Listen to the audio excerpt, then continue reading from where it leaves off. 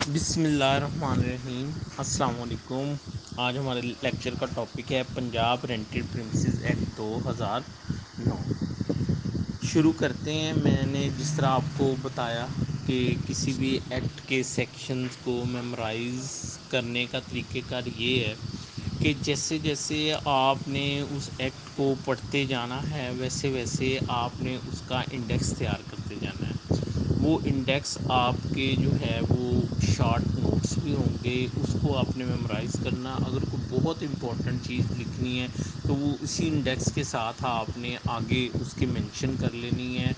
और वो जो इंडेक्स है, कल को आपको पूरा एक्ट पढ़ने की ज़रूरत नहीं है।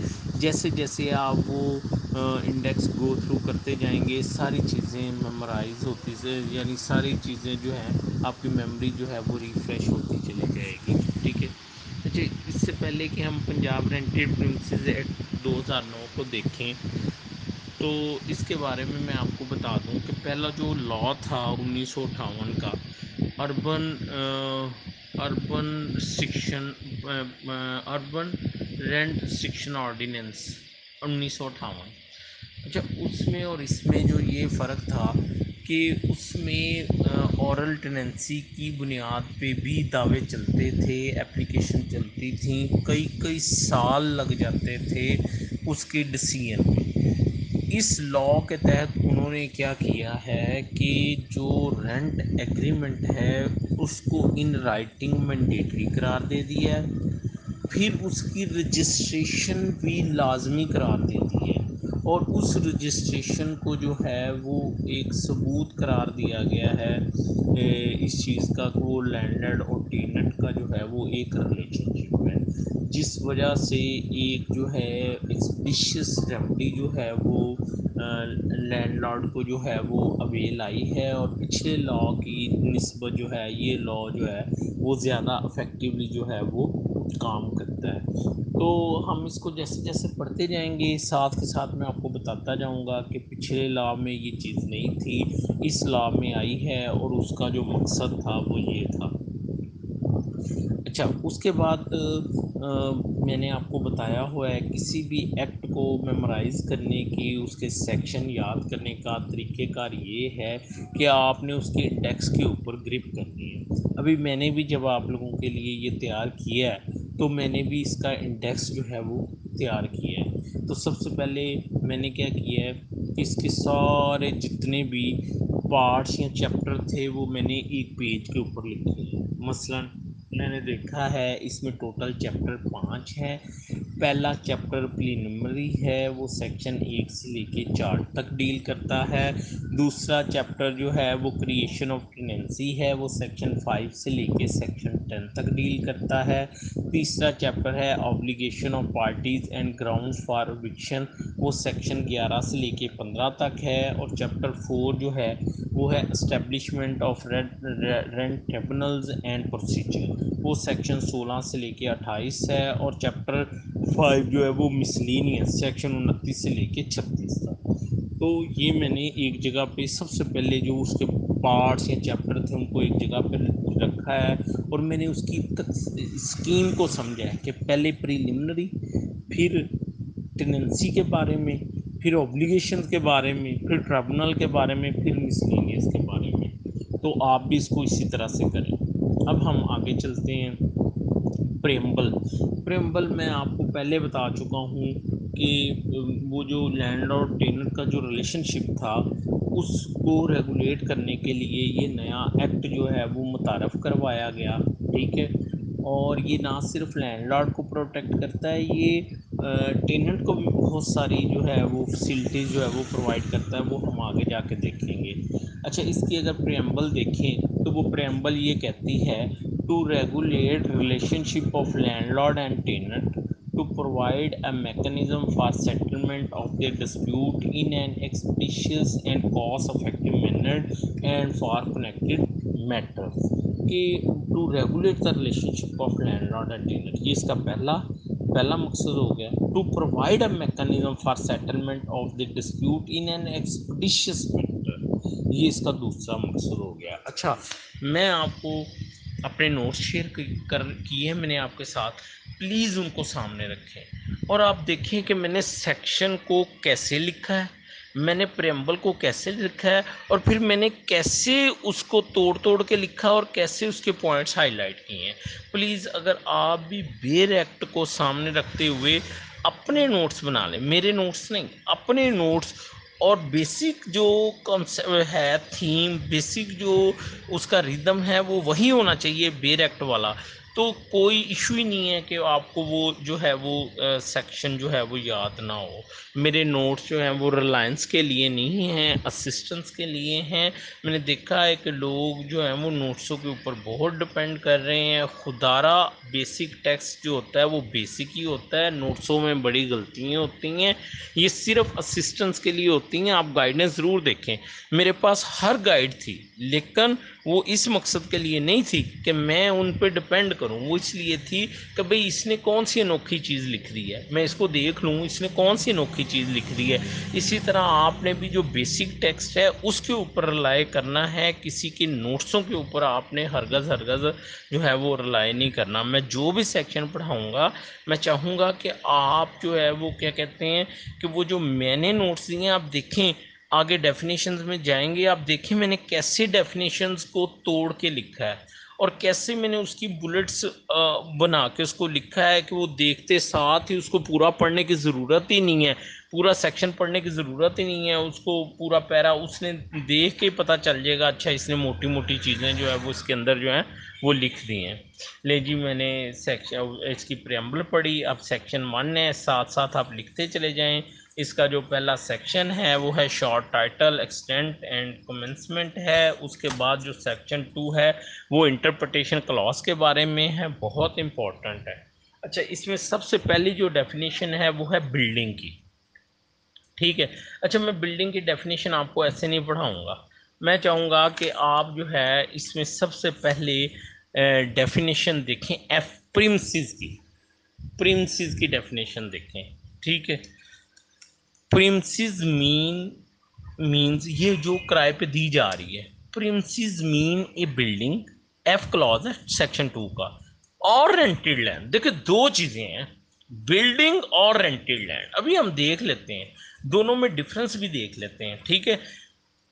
Not being an agriculture land और land subservient to the agriculture land अच्छा जी, एक चीज़ तो क्लियर होगी कि ये वाला जो एक्ट है, ये एग्रीकल्चर लैंड के ऊपर अप्लाई नहीं होना। उसके लिए वही जो ट्रांसफ़र प्रॉपर्टी एक्ट या टेनेंसी एक्ट जो भी उसका रेलिवेंट लॉ होगा एग्रीकल्चर प्रॉपर्टी के लिए लीज पट्टे की सूरत में वो अप्लाई होगा। जबकि जो अर्बन प्रॉपर्टी है, उसकी सूरत में ये वाला लॉ अप्लाई होगा। होप कि आपको समझ आ गई। हम प्रिंसिस की डेफिनेशन पढ़ रहे थे। उसने कहा है कि इसकी जो है, वो क्या कहते हैं? इसमें बिल्डिंग और रेंटेड लैंड जो है, वो शामिल है। अब हम अच्छा अब ज़रा आप मेरे नोट्सों में भी देखें। मैंने जो इसकी जो है, वो डेफिनेशन लिखी है, देखिए मैंने हाईलाइट कर दिया है। बिल्डिंग आर रेंटेड लैंड को हाईलाइट कर दिया और not being an agriculture land and land to the agriculture ठीक है? अच्छा अब आप देखें premises mean a building or rented land अब आप ज़रा अपना सेक्शन टू देखें तो देखें क्लॉज ए में बिल्डिंग की डेफिनेशन है और क्लास आई में जो है वो रेंटेड लैंड की डेफिनेशन है. तो प्रिंसिस की डेफिनेशन से आगे दो डेफिनेशन निकल रही हैं बिल्डिंग की और उसकी जो है, वो क्या कहते हैं रेंटेड लैंड की। तो अब हम उनको बारी बारी देख लेते हैं। अब हम देखते हैं बिल्डिंग की डेफिनेशन प्लीज़ आप बेरेक्ट पढ़िएगा, लेकिन मैं आपको अपने नोट्सों से दिखाऊँगा कि अगर आपको बिल्डिंग की डेफिनेशन आ जाती है तो देखें मैंने कैसे लिखा है। बिल्डिंग मीन्स देखिए, पहला पेज है, पहला पेज मेरे नोट्सों का। बिल्डिंग मीन्स अ बिल्डिंग और part thereof together with all fixtures and fittings therein if any and includes garage garden godown outhouse open space attach to apartment day टू देखिए, मैंने कैसे बुलेट्स बना के लिखा है। अब वो जो अगर एग्जामिनर आपने ऐसे डेफिनेशन अटैम्प्ट की होगी अगर पेपर में तो उसको पढ़ते साथ ही पता चल जाएगा कि इसने जो है वो रेलिवेंट चीज़ें लिख दी है। उसको डिटेल में जाने की ज़रूरत ही नहीं होगी। लेकिन अगर आप पैरे की सूरत में लिखेंगे तो वो फिर उसको पढ़ने में, वो पढ़ तो लेगा, लेकिन उसको बड़ी इनकन्वीनियंस सी होगी। तो अगर आप इस तरह से लिख के अपना मतलब वाजे कर देंगे तो उसको पता चल जाएगा, इसका कॉन्सेप्ट जो है वो क्लियर है। अच्छा इसी डेफिनेशन को आगे पढ़ता हूँ मैं, ठीक है? अच्छा जी, यानी building mean a building or part thereof together with or fixtures and fitting जो भी बिल्डिंग के अंदर दरवाजे, खिड़कियाँ, सारा कुछ है वो शामिल होगा।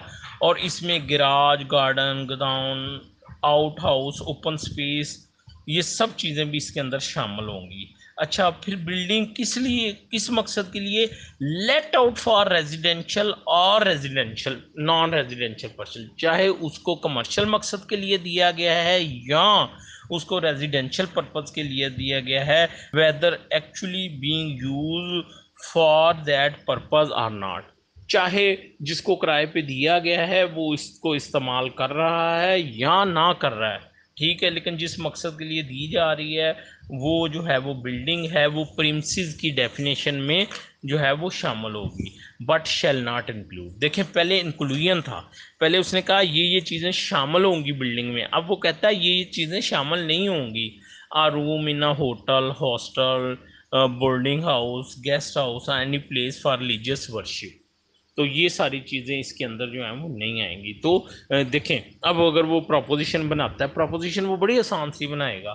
वो आपको ऐसे कंफ्यूज करने के लिए वो कह सकता है जी कि उसने जो है एक होटल जो है वो उसका एक कमरा किराए पे लिया है तो उसका वो जो है वो उस टेनेंसी के बुनियाद पे उसने लैंडलॉर्ड ने केस कर दिया है और टेनेंट कहता है कि ये मेंटेनेबल नहीं है। आप बताएँ क्या कहते हैं? तो हम फ़ौर हमारा माइंड क्लिक करेगा कि ये तो बिल्डिंग की डेफिनेशन में आती ही नहीं है, ये रूम तो आता ही नहीं है, या ये प्रॉपर्टी तो एग्रीकल्चर है, इस पर तो रेंट रिस्ट्रिक्शन ऑर्डिनेंस अप्लाई नहीं होना।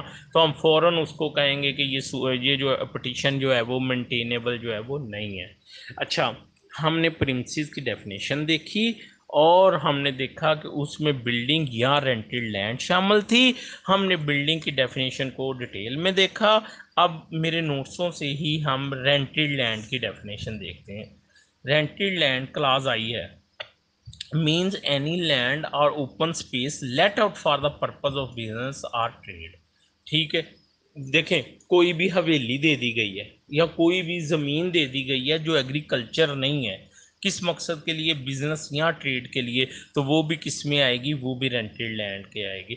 तो प्रिंसिस डेफिनेशन की डेफिनेशन में हमने देखा दो चीज़ें आ गई। बिल्डिंग और रेंटेड लैंड अच्छा अब हम आगे चलते हैं। अच्छा थोड़ी देर के लिए।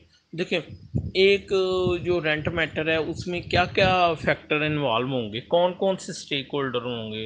या कौन कौन से फैक्टर उसमें इन्वॉल्व होंगे? एक तो वो प्रिंसिस उसकी डेफिनेशन हमने पढ़ ली।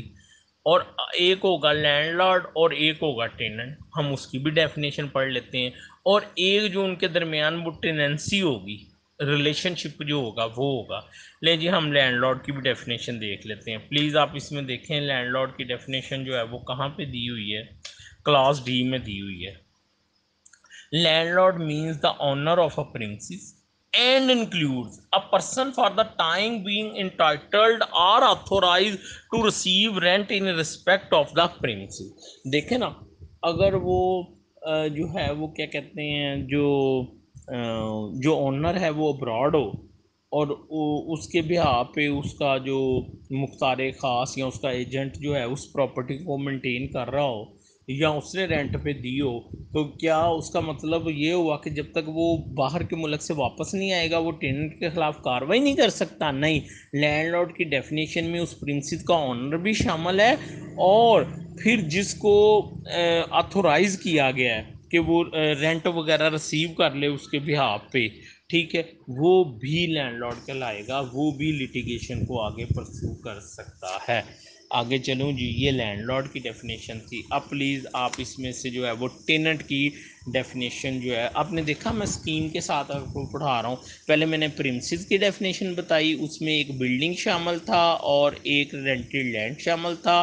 फिर बिल्डिंग की डेफिनेशन देख ली, फिर रेंटेड लैंड की डेफिनेशन देख ली। उसके बाद हमने देखा कि रेंट मैटर में एक, दो प्लेयर और होते हैं। लैंडलॉर्ड और टेनेंट होता है। लैंडलॉर्ड की डेफिनेशन देख ली। अब हम टेनेंट की देखने लगे हैं। प्लीज़ टेनेंट की क्लास एल में है, ये भी आप मेरे नोट्सों से देखें। नोट्सों से मैं इसलिए आपको बता रहा हूँ कि उधर से आपने पहले बेसिक टेक्स्ट पढ़ लेना है, फिर आपने देखना है कि मैंने किस तरह उसको स्मूथली जो है, वो बुलेट्स या नंबरिंग के साथ लिखा है ताकि पढ़ते साथ ही समझ आ जाए कि ये इसने डेफिनेशन में कौन सी मोटी मोटी चीज़ें लिखी हैं। और फिर मेरे नोट्सों का एक मेरा मकसद ये भी है कि आपको प्रेजेंटेशन का पता चले कि प्रेजेंटेशन कैसे वहाँ पे होनी चाहिए, ठीक है? Tenant mean a person who undertakes or is bound to pay rent as consideration for the occupation of a premises, यानी जो कि ज़िम्मेदारी लेता है या जो पाबंद होता है कि वो प्रिमसिस के बदले में रेंट पे करे। ठीक है, जो उसने कब्ज़ा किया किया उसके बदले में रेंट पे करे। ठीक है, अभी हम रेंट की भी डेफिनेशन देखेंगे। और by any other on is behalf या उसके बिहार पे कोई और बंदा जो है वो रेंट अदा करे, वो भी टेनेंट कहलाएगा, ठीक है? अच्छा जी, और इसमें कौन कौन शामिल होगा?